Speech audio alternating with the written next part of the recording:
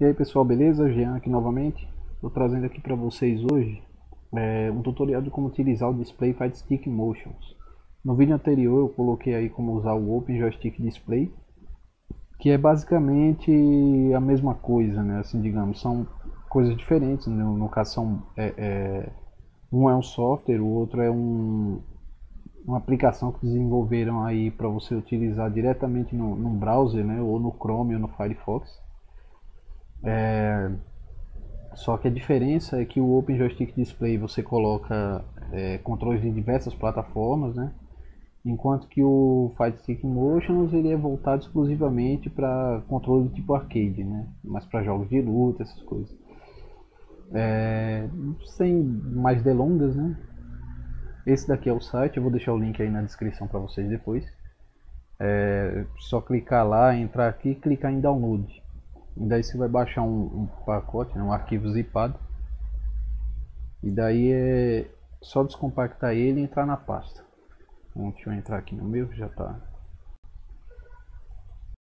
Aqui, quando você descompactar o arquivo, né, que você vai baixar clicando aqui em download,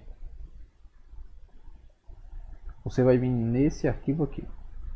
O meu aqui ele abre diretamente no Chrome, né, que eu deixei como navegador padrão, então todo arquivo HTML meu aqui, ele abre diretamente no, no meu Chrome, né? Vou abrir aqui. Bom, quando ele abrir, ele vai ficar nessa tela aqui. Se você tiver com o controle plugado, né, já é de preferência, ele vai pedir para você pressionar qualquer botão. Quando você pressionar, ele vai mostrar aqui. É, o meu aqui ele já está configurado, está com fundo aqui. Eu vou voltar para o fundo normal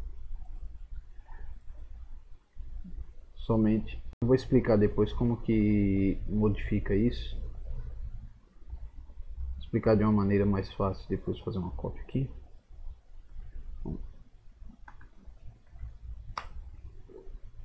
Vou abrir novamente e eu vou explicar depois como que modifica né, o, o layout dele. Bom, isso aqui é como ele vem por padrão. É, alguns controles eles já reconhecem é, é, o padrão certinho aqui dos botões, tudo, mas é, para alguns é necessário configurar. Como aqui eu estou pressionando os quatro botões de cima no meu controle, mas ele está marcando aqui somente os dois últimos ali, né, em cima e dois embaixo. Então é que a configuração do meu controle em si ela não é compatível com, com a daqui, né? não é a mesma configuração que vem por padrão no, no Fight Stick Motions aqui. Então daí o que é que você faz? Basta você clicar em cima do botão e ele vai pedir para você pressionar o botão. Vai aparecer aqui a mensagem para você pressionar o botão que vai ser o botão 1. Daí eu vou pressionar primeiro aqui. Clicou no botão 2, ele pede o 2. E assim sucessivamente. Configurar todos aqui. É como se você estivesse configurando um, um controle no próprio emulador. Né? Você vai botão por botão. Select. Start. E aqui é, não tem como você jogar para cima, jogar para baixo, para um lado para o outro. Fica escondido. Você vai clicar no lugar e ele vai aparecer aqui para você. Você colocar para cima, ele não vai. Ele vai aparecer uma mensagem embaixo. E pede para você segurar por um segundo na posição. Aí você segura para cima segurar. Pronto. Aí ó, ele já mexe para cima. Ele não vai mexer para as outras posições porque não configurei ainda. Então você clica aqui ó, no espaço vazio sempre. E daí vai aparecer a setinha. E você segura, o, a, no caso a alavanca, né, o manche. Você segura para o lado referente à posição que você vai configurar. Para baixo a mesma coisa. Para a esquerda também. Bom, os botões aqui estão configurados. E agora, controle para cima, para baixo, para um lado e para o outro. Se você rodar aqui, ó, ele faz o 360 já. E aqui ele já está configurado para você colocar é, seus gameplays, nas suas lives, o que você quiser. Aqui tem a, a, a URL aqui que você pode reproduzir, no caso é essa, essa configuração aqui atual. Então o que é que você tem a opção aqui de fazer? Você tem isso aqui, ó, save as my settings.html. Com isso daqui você vai salvar essa configuração que você acabou de fazer. É, o que é que acontece? Você vai pegar sempre que você for abrir o arquivo, você pode abrir diretamente com esse aqui. E daí essa configuração que você fez já vai ficar padronizada. É, por que estou falando isso? Porque se você fechar aqui, vou fechar aqui, vou abrir de novo. Quando você abre ele aqui, você tem que configurar ele novamente. Aqui ó, desconfigurou de novo, tá vendo? Ele não mexe. Vou configurar mais uma vez para poder mostrar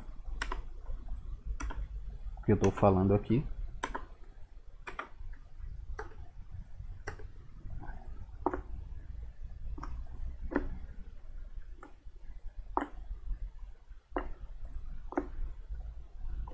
e deve colocar aqui, ó, save as my setting.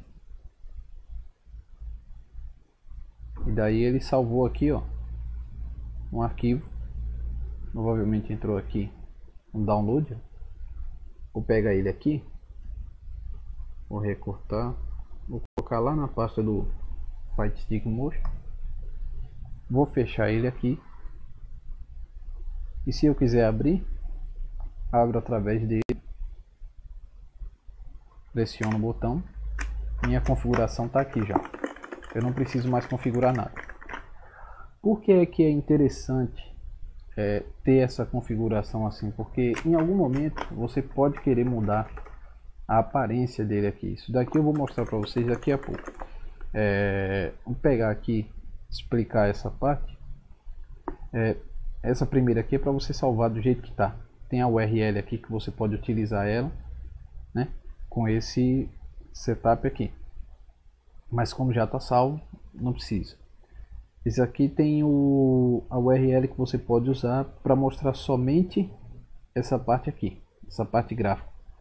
Você pegar aqui, você copiar e você abrir aqui no browser.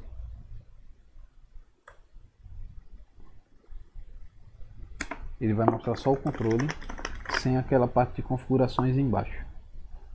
Caso você deseje usar ele no OBS, né, que é o que eu vou explicar aqui, basta você copiar isso aqui. Copiou. Você vai lá no seu OBS, vou abrir aqui um outro aqui, né? Apareceu mensagem para mim ali porque eu já estou com um aberto aqui, mas se eu não, não for, se não for assim, eu não consigo mostrar né, funcionando. Bom, é, Vou adicionar aqui nessa cena, deixa eu ver, vou criar uma cena nova aqui. Adicionar uma imagem de fundo aqui.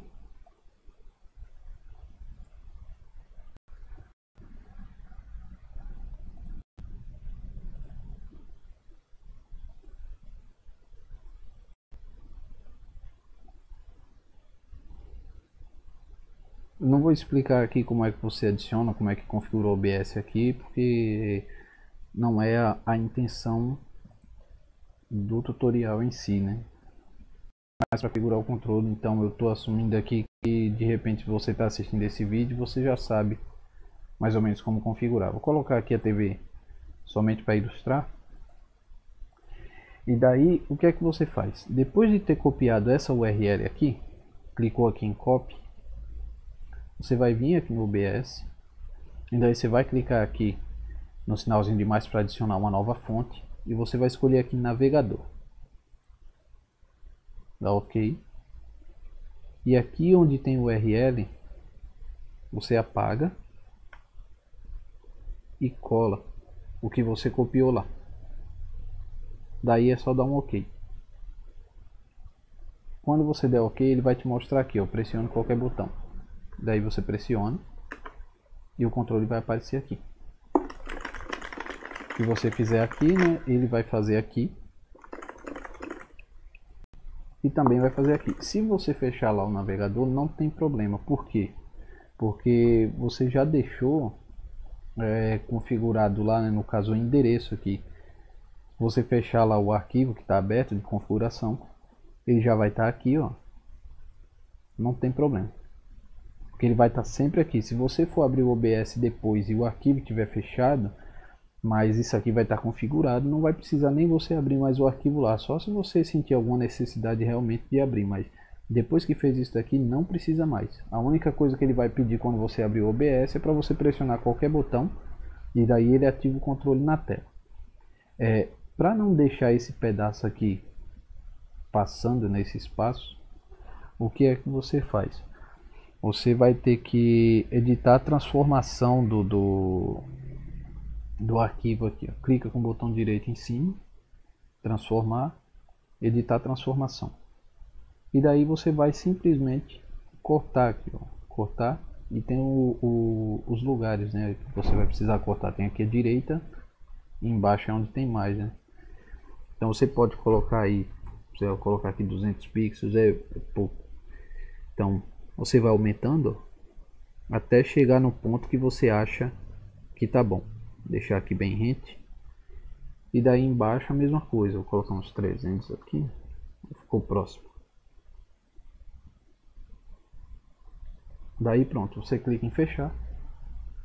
E daí você pode redimensionar ele do, do jeito que você quiser, né? Que aí vai estar, tá, é, digamos assim, num quadrado aí, num, num retângulo, né? Um tamanho adequado. Você mexer, ó, vai fazer, certo? É, aí você pergunta, ah, mas eu não gostei aí desse visual, e aí, o que é que eu faço? Daí você faz o seguinte, é, vou tirar ele aqui.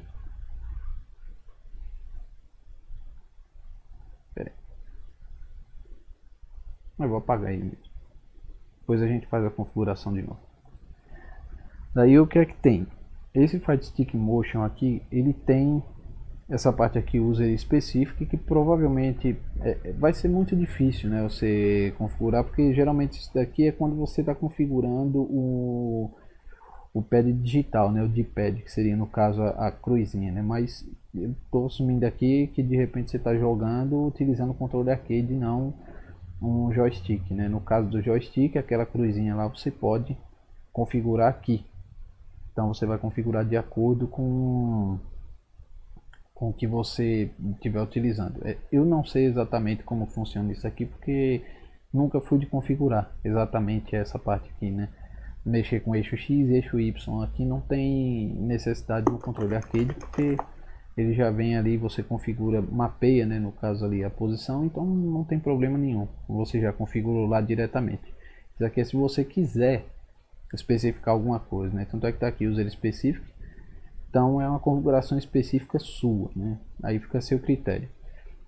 Tem aqui essa outra aba, o Custom Layout. É, se você quiser ativar o Custom Layout, é só clicar aqui e daí ele vai aparecer com essas opções. Eu vou diminuir depois um pouco aqui para mostrar melhor. É, mas qual que é a sacada aqui? É, customizar a aparência. A aparência principal dele é essa aqui. Então você vem aqui em Open File e você vai ter aqui, ó, é, aqui Hitbox, voltar aqui Layout. Tem a pasta Layout dentro do Fight Stick Motion aqui, ó. Dentro dessa pasta Layout vai ter essas pastas aqui, ó, Color, hitbox, input history, input history HORI, o preset, que é essa configuração padrão, e esse punch kick. Vou colocar aqui primeiro esse punch kick. Tem esse arquivo aqui dentro, layout save. Você abre ele e daí ele vai mudar aqui, ó. Dentro aqui do Fight Stick Motion, na pasta layout, se você entrar aqui em punch kick, você vai ver, ó. Tá tudo aqui.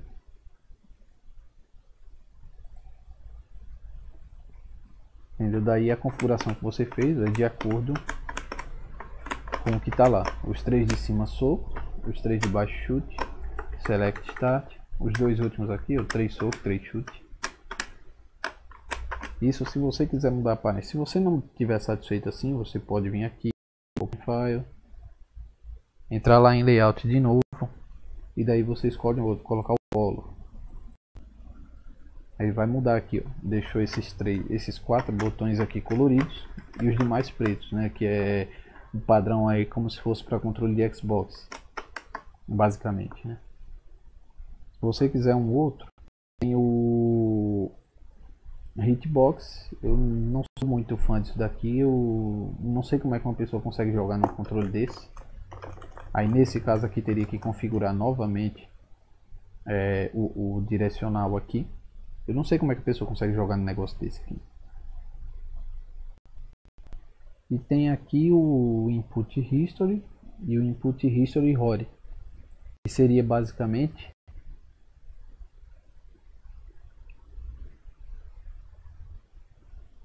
Cadê? Ah. Não abriu aqui. Abrir. Bom, é isso aqui, ó. Por isso que não estava aparecendo. Ele vai ficar mostrando no canto da sua tela isso daqui, esse movimento. Se você pressionar um botão, ele vai mostrar qualquer botão. Igual aqueles aqueles modo treino, né, do Street Fighter lá que você vai pressionando o botão e ele vai mostrando aqui do lado. Fora esse daí, tem o Input History Rory. Que aí ele vai mostrar em sequência, né? assim, do, na, na, na, horizontal, né? em vez de vir na vertical. Então tudo que você fizer, ele vai ficar mostrando aqui tipo Tekken, né? o, o Tekken modo treino, se não me engano, acho que aparece dessa maneira aqui, se não me falha a memória, acho que o Tekken 3 que já aparecia assim, não sei se o 2 também. Mas enfim, é, esses são os modelos padrões que tem né, assim, de, de, de customização de layout. Vou abrir aqui o, o preset. Bom, esse é o padrão. Aí de repente você diz, ah, mas eu não gostei dessa imagem de fundo aí, nesse né, fundo azul, o que é que eu faço? Bom, para você mudar isso aqui, você fecha primeiro, ou podia deixar aberto e atualizar, mas é mais fácil fechar. E daí você vai na pasta layout lá, vai no preset e aqui está a imagem. Essa é a imagem de fundo, está com o nome background. O tamanho dela, a dimensão dela, ele é de 500 por 250 pixels. É, qual que é a sacada aqui? Você pode utilizar qualquer tamanho de imagem, é, retangular, quadrado, que seja, mas ele vai tentar adaptar é, para essa dimensão aí 500 por 250 então o que, é que acontece? Se você pegar uma imagem que ela é desproporcional em altura ou em largura ela vai ficar esticada ou para cima ou para baixo. Entendeu? Ou ela vai ficar achatada dependendo da imagem que você escolher. É, eu deixei aqui essa pasta arcade que eu criei aqui com algumas imagens estava fazendo uns testes. Ou colocar aqui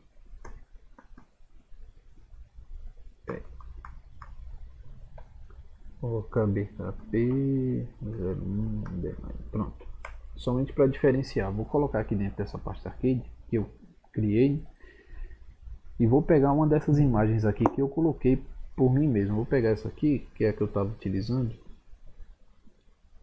vou colocar ela lá. A imagem tem que estar tá com esse nome daqui background e tem que estar tá no formato PNG todas essas imagens aqui tem que estar no formato PNG. Senão não vai funcionar. Ela não aparece lá. É, Para poder aparecer você teria que mexer no caso no código do arquivo lá do Fight Stick Motion, né, o, o HTML dele lá, para poder mudar a extensão da imagem. Então PNG é mais fácil do que você ter que mexer lá no código do, da aplicação em si.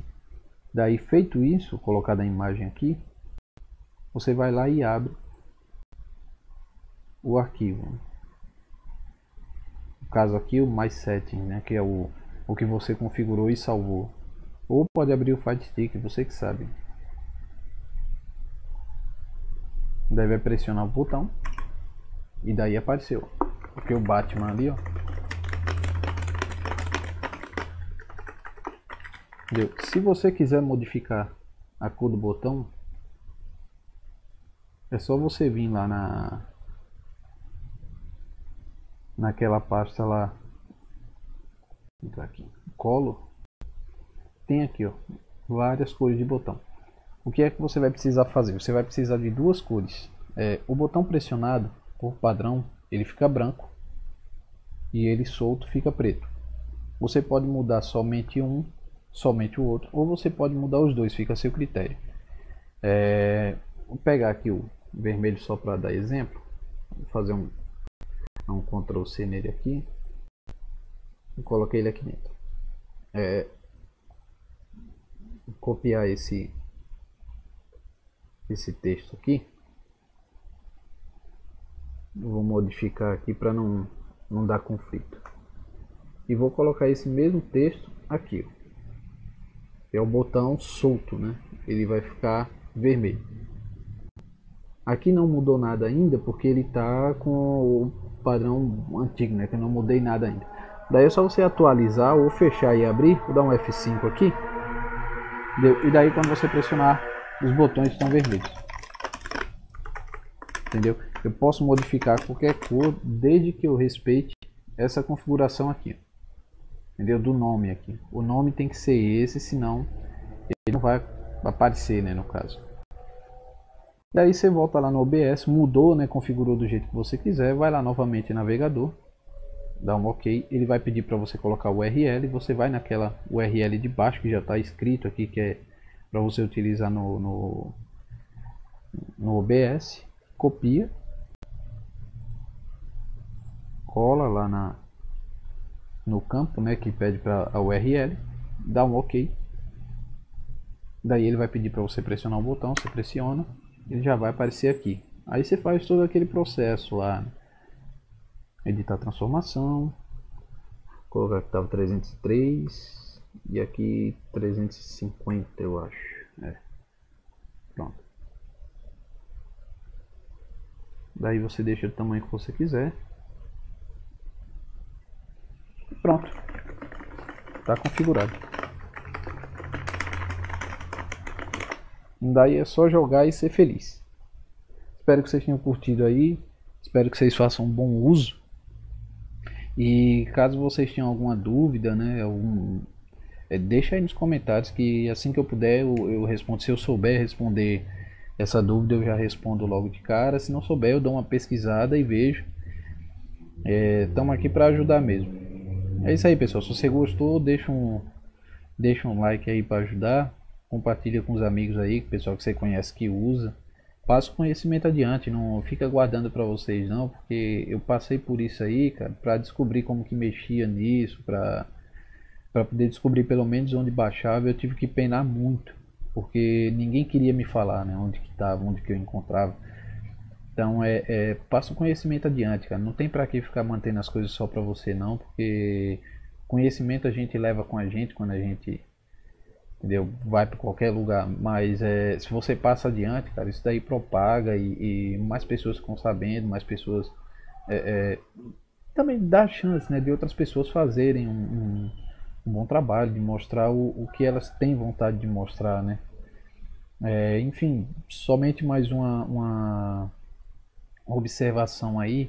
É, se vocês perceberem antes a imagem, a imagem anterior que estava, né, ela tinha as bordas ali arredondadas e agora está quadrado. É, você pode fazer uma edição de uma imagem de fundo é, no Photoshop. É, você pode também fazer com o, os botões, sei lá, se você quiser colocar botão quadrado, triangulado, você pode fazer. É, você pode escrever em cima do botão, fazer alguma coisa no Photoshop. Isso fica a seu critério, desde que você respeite é, o nome do, do, da imagem em si, né? Que foi aquele lá que eu mostrei que tem que estar tá igualzinho do jeito que está escrito lá é, para não ter problema depois, entendeu? É, tem uma outra configuração dele que você modifica botão por botão, mas isso daí eu vou trazer em um próximo vídeo, já que esse aqui ficou tão longo, né? É, espero que vocês tenham curtido aí mesmo, pessoal. Façam um bom proveito, tá? Deixa aí dúvida, sugestão que vocês tiverem, né, eventualmente. E da maneira que eu puder, eu vou tentar estar ajudando. É isso aí, valeu!